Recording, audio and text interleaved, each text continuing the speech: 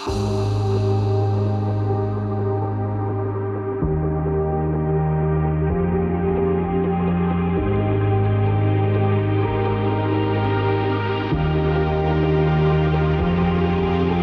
my mind is like a battlefield and my heart